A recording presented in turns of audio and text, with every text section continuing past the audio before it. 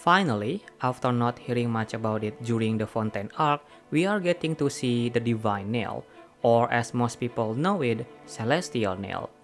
For me personally, the existence of this thing is super interesting because it is closely tied to the Celestia, hence the name Celestial Nail.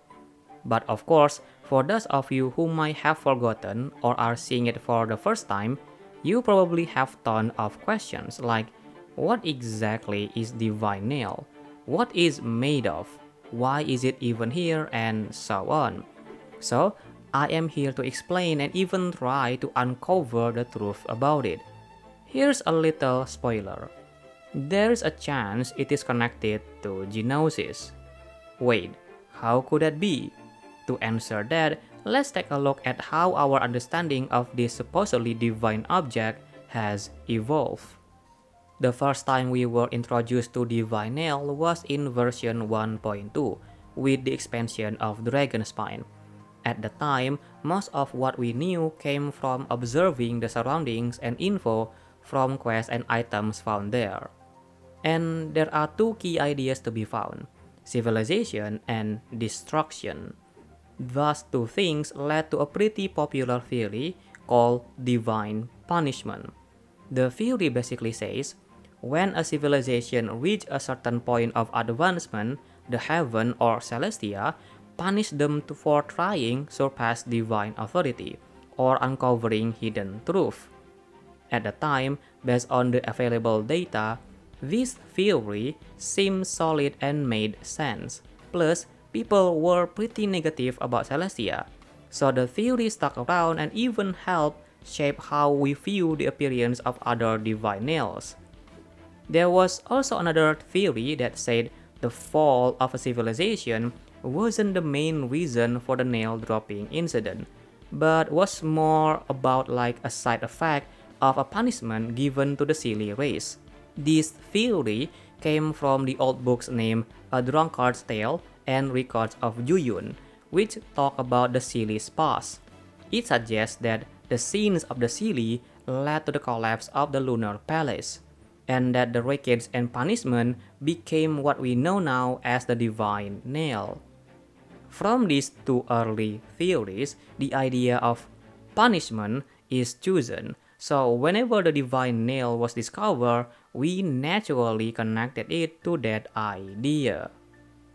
As time passed, with the ideas that we have already built by the Inazuma arc, many of us start recognizing the sign of divine's presence so easily, like on Tsurumi Island. Even though we haven't seen one directly there, the ley lines anomalies on Tsurumi Island are definitely not natural. Also, the murals there bear similarities to those at Dragonspine, and some dialogues from the world quest only increase our suspicions about the presence of a divine nail on Tsurumi Island. At this point, no new major theories came up. The main idea was still the same, but we did get a new node, the presence of Abyss Monster there. This was new information because aside from Julian showing up later, there were no typical Abyss monster like Rifthounds at Dragonspine. From here, it raised another questions. Could it be that the leyline disruption attract abyss monster or open up a path for them to appear. As for why Dragonspine didn't experience the same thing, it could be due to the extreme cold, or maybe the leyline there were more stable compared to Tsurumi Island. Whatever the case is, the main idea was that there seemed to be a link between Divine Nail and Abyss monsters, and that the anomalies caused by the nails may have a hidden purpose. On top of that, we also found withered Irminsul branches around Tsurumi Island, just like we did in Dragonspine. This strengthened the belief that there was a divine nail on this foggy island. Let's recap what we have built so far. The divine nail as a form of punishment, its impact causes leyline anomalies, it appears in areas with civilization, often accompanied by unique murals. Its presence is linked to the appearance of abyss monsters, and we will find the withered Irminsul branches in the areas affected by it. Oh, and there is one more thing I forgot to mention. A cryptic message in Dragon Spine. In short, when we exploring the area, we come across the remains of a ruined guard with a unique serial number that when we coded reveals this message. For the nation, we can't forego this skyborn power, but we fail. At the first glance, this seems pretty random, but knowing that it comes from a ruin guard makes it all make sense. The ruin guards are creation of Khaenri'ah, so their presence at Dragon Spine suggests that at some point in the past, Khaenri'ah sent ruin guard there for a specific reason, likely tied to the power of the Divine Nail, but they fail. The question is, what kind of power does the Divine Nail possess to make Khaenri'ah so interested in it?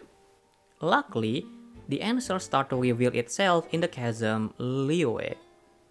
Believe it or not, the Divine Nail in the chasm is the only one so far that is connected to four different quests. A world quest with Zhiqiong, an encounter with Dainsleif, a journey with Itto, Yelan, Kuki, and Yanfei, and Nahida second story quest, plus one mural from Chen Yu Vale. The nail in the chasm not only confirm many of our previous points, but also introduce new information that could challenge our earlier theories. So what is that all about? From all those quests, we learn that the Divine Nail has the power to neutralize or convert abyssal energy into something more stable. To me, this information is pretty interesting because it explains why Khaenri'ah, or those who get cursed, are so interested in the nail, as evidenced by the unique code on the Ruin Guard in Dragonspine, the Ruin Serpent in the Underground Chasm, and Hilichurl activities there. Aside from its fragment serving a similar function and being used as a light source, I also suspect that the special water in the chasm ruins may come from or at least be influenced by the nail. This new information also makes us question the accuracy of our earlier punishment theory. Is it really true that the heaven sends down the divine nail as pure punishment? Or could there be another reason one related to the abyssal energy. Another question is, if divine nails are so powerful, why aren't the remaining people of Khaenri'ah or factions like Abyss Order and Fatui going after them? And why has Celestia stopped dropping them? Maybe some of you already have a general idea of the answer by now, but let's keep it for now. Our journey isn't quite over yet. Along with its discoveries, there is another unique phenomenon tied to it. Can you guess what that is? Let me tell you. It is a space known as Chasm Bed. You know, the weird space directly beneath the Divine Nail, where the traveler Yelan, Kuki, Xiao, Yanfei, and Itto got trapped. This space is strange because, according to what we observed during the quest, it has the ability to create new subspace like a maze cause space rifts, modulate time, make people feel more tired, create illusion from visitors' memories, and even gives off a sense that it could consume people. There's also a ghostly red figure that appears something like a Shin Shade from Enkanomiya. To sum it up, it is got space-time and psychological effects, kind of like Limbo. Initially, we thought these effects came from the Divine Nail itself, but that is not really the case, right? Surely. Later on, in the desert and now Natlan, it seems our suspicions were on point. At the very least, the eternal oasis in the desert gives us clear indications. Made by King Deshret using the Divine Needle, there's ley line anomalies around it, it has space-time psyche effects, and of course, with the Irminsul branches. As for Natlan so far, it fits with the points we have built up. The difference is that this nail seems to have a crucial role to play, because if our theory holds, the Night Kingdom, the heart of Natlan defense, might have originated from or been influenced by the nail. This is because the Night Kingdom shares some similar characteristic to the space affected or created by the nail, like an advanced version of the chasm bed and the eternal oasis. I'm not saying this all comes purely from the divine nail, but the point is that at least it play a part in the creation of the Night Kingdom. If this guess is right, we could find some interesting results. Why? We need to remember that the Night Kingdom essentially acts as a replacement for the ley line for the people of Natlan, taking care of the memories, elemental energy, and lingering souls, which mean the divine nail is acting like a mini Irminsul, or to put it another way, a sort of Irminsul flash drive. Additionally, if you look closely, the obsidian stone used as symbol for the Wayob in each tribe seem to resemble the tip of the nail. This makes us wonder if the obsidian stone are actually fragments of it that absorb tons of abyssal energy, turning them black at the top. This may explain the obsidian stone abilities like predicting the future, since remember, the divine nail has space-time related powers. But at the same time, if that is the case, doesn't it mean that the Wayob is basically a manifestation or avatar of divine nail fragment? Or maybe it is a collection of memories that turn into hive mind within the fragment, which is quite the same thing if we take a look at their description in the game. The point is, this opens up the possibility that the nail, or at least its fragment, has some level of willpower. It is quite odd, isn't it? Or is it? Well, I think it is time to stop yapping and start connecting all the information we have gathered so far, and of course, address the big question, including the promise I made earlier, its connection to Gnosis. First off, did you know that the divine nail in the chasm is called Spirit Stone? Even the word quest tied to it is named Wherefore Did the Spirit Stone Descend? Huh, that sounds strange, but the points we built so far actually support the meaning of the name. With it, the existence of the nail in the Night Kingdom, a place between life and death, makes sense because the nail itself could be considered a spirit. Now, let's think about the divine nail's abilities. From all the points we have explored so far, what do they remind you of? Personally, I would like to suggest they point to the purple crystal and Descender. Wait a minute, how did I jump to that conclusion? Take a closer look. The abilities of the Divine Nail could very well explain the unique powers the purple crystal possess, aka Vedrfolnir. What I'm trying to say is, at some point, one of the sinners, Vedrfolnir, managed to interact with the nail fragment. But for some unknown reason, his consciousness and the abyssal energy around him were absorbed by the nail. Then, since they are fused together, Vedrfolnir can, to some extent, borrow its powers. He can calm the curse, recognize the traveler from the future, and was even located in the underground chasm, literally near the nail itself. So my theory that the purple crystal is connected to the divine nail isn't too far-fetched, right? Also, if some of you are already trying to connect this with the missing Tsurumi divine nail, then have fun. Next, Descender. Oh boy, I just want to say one thing. Both Descender and Divine Nail share one obvious similarity the ability to absorb or purify abyssal energy. We don't have to look far to see the connection. Our traveler is literally the fourth descender. So here's the question How can a random stone have the power of a descender? Or if you are still confused, what exactly is divine nail made of? It has to be made of something, right? This is where I suggest that divine nail is made from the remains of descender.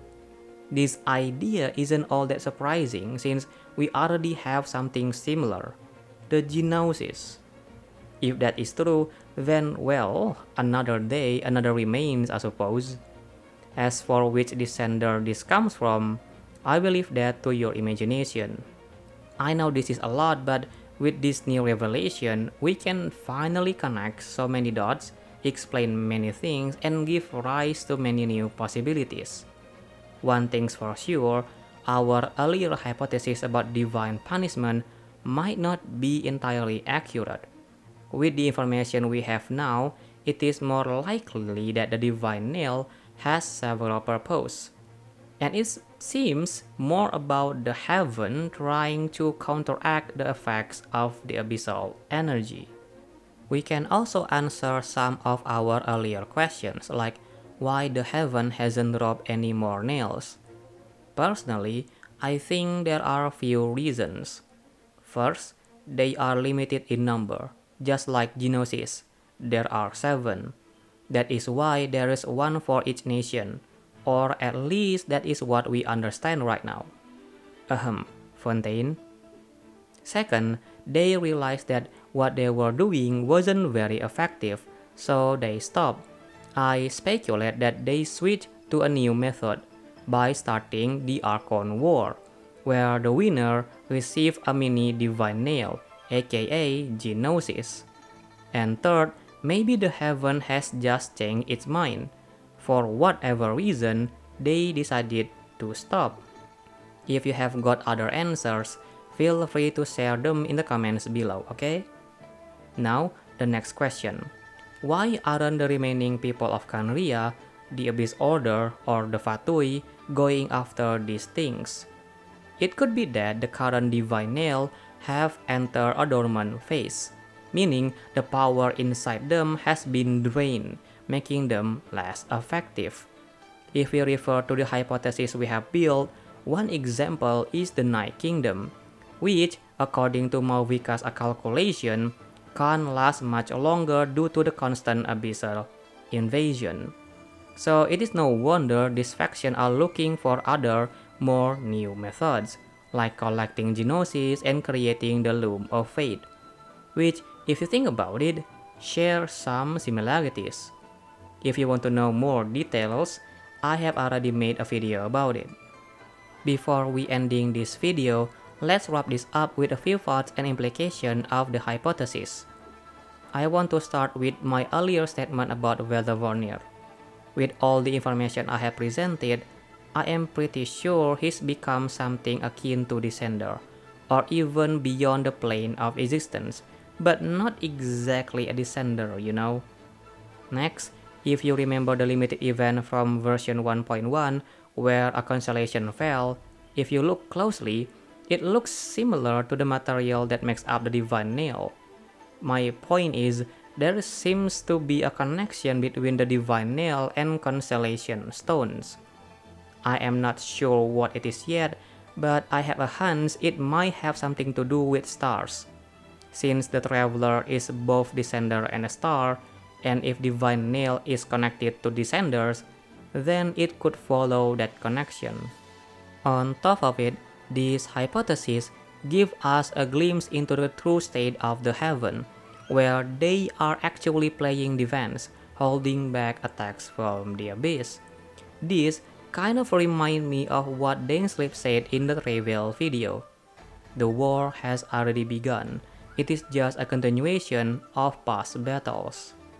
I think this message is more about the war against the abyss than anything else.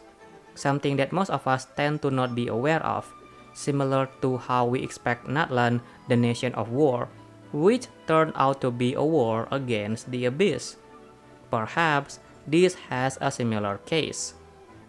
Oh yeah, some of you might already notice why I don't mention any dragon here, like a theory about the nail used to be a weapon against the dragon. The reason is, I personally have a mixed opinion about it. On one hand, that theory seems to make sense because there's indication from Apep, but at the same time, not really. If we see it from the pattern from other nails in the other regions, well, that's that's not really the case though. Regardless, I can see that possibility, like perhaps the Abyss and some dragons somewhat in cahoot, but still, who knows. Lastly, if you think about it, this hypothesis also seems to take Genshin recurring theme of using the remains of the gods and the idea of sacrifice, which is kinda fascinating, you know. Well, that is all I have to share for now.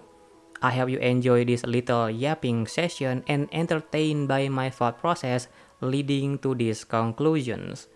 Thank you for watching, Hello Zone here, and see you next time.